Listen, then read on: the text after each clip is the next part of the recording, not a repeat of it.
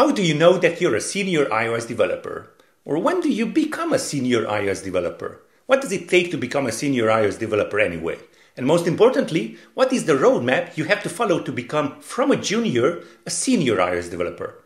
There's a lot of worthless information out there about this topic that might hurt you, so let's talk about it. Let's talk about how to become a senior iOS developer. This topic is really controversial.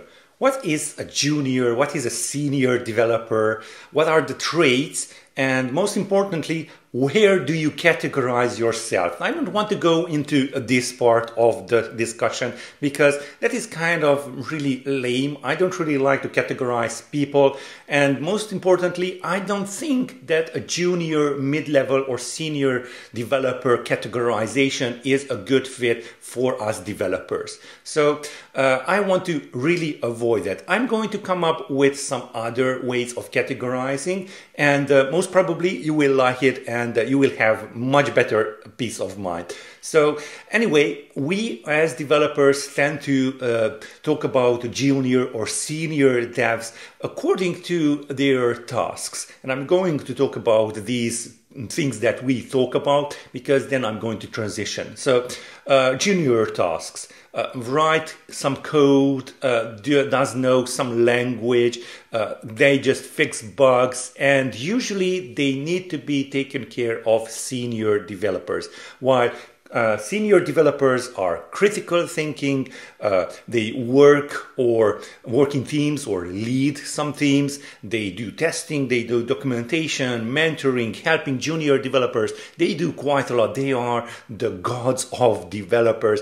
And uh, as you already know, there might be some juniors that do write some testing or documentation. There might be some uh, seniors that don't really care about documentation or testing, or they don't really do a good job at helping junior developers. So this is kind of a foggy area. Uh, as I have uh, told you, junior and developer, junior developers and senior developers or mid-level developers, these are really the wrong way of touching this topic of how good is an developer actually. And usually on an interview uh, people don't really take a good look at okay this is what your status was at your previous job junior or senior or whatever.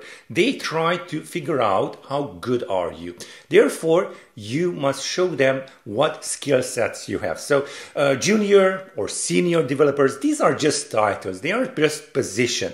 So in order to become a good developer, you have to become an expert at things. So this is kind of the key word here, expert. What are you expert at? What are your traits? What are your what is your level at certain tasks? And uh, because you know we are going to work in corporations, uh, these tasks are assigned to either to be a junior developer position or a senior developer position. But you could be well off. You could be an expert, let's say, at a junior task, let's say putting up some UI. Also, you could be an expert at mentoring or helping junior developers, which is a senior trait. So I would say that you should just think about what does it require? What task does it require to become a senior iOS developer? And what is your level of expertise on that? Is it a beginner or are you an expert at it? So, how do you become an expert? This is how you can become a senior iOS developer so you can appeal to that company so you get that title, you get that position. So, how do you become an expert? That is the main question right over here.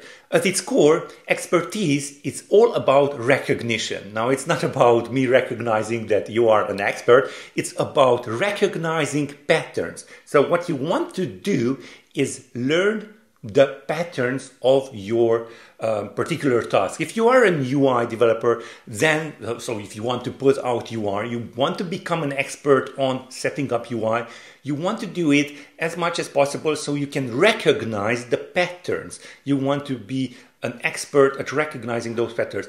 Uh, expert doesn't mean that you have a good memory at memorizing all of the, let's say, Swift UI views or how to set them up you want to be an expert of, okay, this is how I set things up if I want to achieve this kind of UI. Or this is uh, really bad because at the end this will bite me in the, you know what. And that is what it's called recognition. You want to recognize patterns in that specific task, be it a UI, be it mentoring. You know, you, if you want to become a good mentor for a junior developer, let's say that is the task, then you want to hone your social skills. You have to have these patterns. You want to recognize that, okay, this junior developer is struggling with this and that. And then this is how I can help it. This is what I experienced that uh, it helped other junior, junior developers also. So uh, if that recognition is the baseline of becoming an expert, then how can you become an expert? How can you make yourself an expert. And uh, yeah, these are just three steps. It's not easy and it will take time, but bear with me. This is how uh, the steps. So I will just uh, read them out loud and then I will talk about them. So step number one, you want to have many re- repeated attempts. So many repeated attempts. Step number two, patterned and immediate feedback. Step number three, thousands of hours of deliberate practice. Okay, repeated attempts, patterned and immediate feedback, thousands of hours of deliberate practice. Now let's take them one at a time because it's really important for you to understand how you can actually become an expert at anything. And if you become an expert at a senior task that is okay uh, this company says that if you are a senior uh, so if you want to become a senior this is the task or these are the tasks that you want to become an expert in. These are the steps that you want to follow. So step number one many repeated attempts. As you all know uh, about malcolm gladwell's 10000 hours of work. So uh, you want to put in 10000 hours. It's not just that. You want to have many repeated attempts. So you want to uh, uh, keep on. So repetition is the mother of learning. So you want to keep on repeating over and over what you actually want to become an expert in. But that doesn't really mean that you will become an expert at it. You still have to become, uh, you have to be in an environment that will give you feedback that is patterned and intermediate, immediate. Let me just talk about these two. So, what is what does it mean that you have to become be inside an environment that is, for example, patterned? Well, you want to learn stuff that you can recognize the patterns of. For example, again, coming back to the UI, you want to see if uh, uh, you can recognize patterns for specific UIs, for a scroll view or the cells or for the tabs or the navigation. And once you get accustomed to that through repeated attempts of building that, then you kind of start seeing these patterns emerge. And that is what you want to become good at. You want to see the patterns, where things go wrong, where how should it be, uh, should it be built out. And uh, most importantly, you want to test uh, uh, this out. So you want to build and run. So you get that immediate feedback. Let's say you lay out the UI, you hit build and run, and then you see, okay, this is how it looks like. I don't really like it. Uh, build and uh, make some changes, build and run again. Oh, this is how I want it to become. So uh, make sure that the feedback is patterned so you can recognize those patterns and it is immediate. So uh, you don't have to wait, let's say, a week for your actions to, to have some feedback. Now, the third one is kind of the complementary of all of these two. So you want to have thousands of hours put in, but the most important part here is what type of hours, what is the quality of those hours. So let's say you are driving, you are learning to drive, and then the first time, oh, it's, it's really, really hard. Let's say you have a new car, you have, it's really, really hard. You are paying attention to everything, you have this focus, and it's really quite hard. So after a few hours of driving, you get accustomed to this. So afterwards, if you drive 50, 100 more hours, you will not learn uh, much more.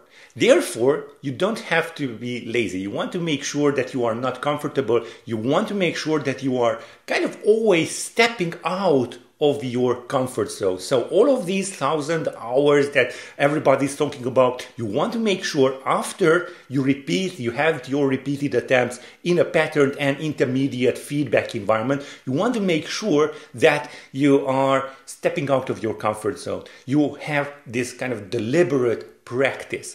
And uh, yeah, this is what uh, coaches or mentorings are really good for because coaches and mentors they really kind of see because yeah they are at the next level they see where your weak points are and they point you so you can practice there. That's deliberate practice. You practice at your edge of your abilities. Those things that you don't really know. And uh, yeah, if you practice those thousands of hours at that area, and of course that area will always move because you are going to be much more efficient at, at the area that you have already learned, then you will become an expert. And again, mentors are really great. Go ahead and check out my mentoring sessions. I do give them at rebeloper.com slash mentoring where you can meet me at a one hour Zoom meeting. And um, of course, I will gladly guide you to your kind of weaknesses where you should do those thousands of hours of deliberate practice. Now, if you did like this video, go ahead and check out my previous one about published variables in SwiftUI 4. It's right over here.